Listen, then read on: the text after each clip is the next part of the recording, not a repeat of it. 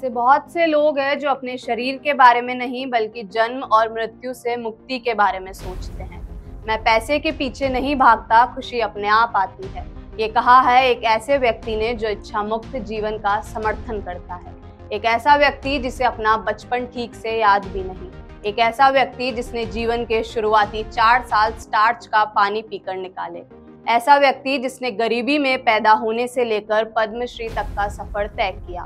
नमस्कार, स्वागत है आपका द नगरी न्यूज़ में। मैं सिद्दिका मनोहर सोनी आपके साथ। एक स्वस्थ इंसान के जीवन की बात की जाए तो आप क्या मानते हैं? वो कितने साल का होना चाहिए? कहते हैं, जब तक शरीर चलता रहे, जीवन भी उतना ही हो तो बेहतर है। और शरीर लगभग 60 साल की उम्र तक ही ठीक से काम करता है।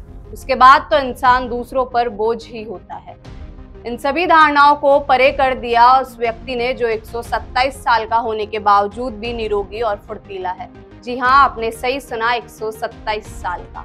एक भारतीय यात्री जिसका अबू धाबी में फ़्लाइट रुकने पर पासपोर्ट चेक किया गया, जिसके बाद आश्चर्य का कोई ठिकाना ही नहीं रहा।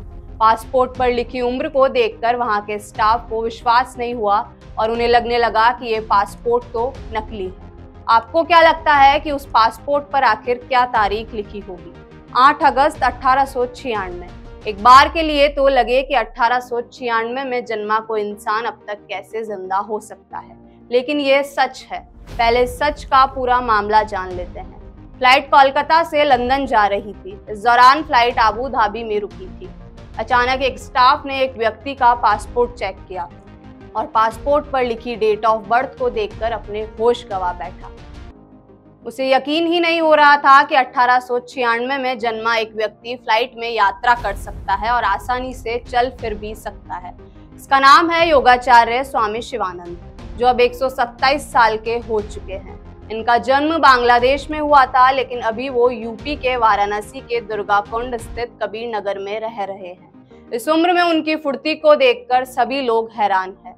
अब उनकी फुर्ती का राज जान लेते हैं। वो इस उम्र के पड़ाव में भी इतने फिट कैसे हैं? इस बारे में वो बताते हैं कि वो रात में नौ बजे सो जाते हैं और सुबह तीन बजे उठ जाते हैं। सुबह भगवत गीता का पाठ पढ़ते हैं, रात के भोजन में जो से बना दलिया, आलू का चोखा और उबली सब्ज़ियाँ नियमित रूप से खाते हैं। वही वो दिन में कभी भी नहीं सोते हैं। स्वामी शिवानंद का कहना है कि जीवन में नियम और संयम का होना बहुत ज़रूरी है।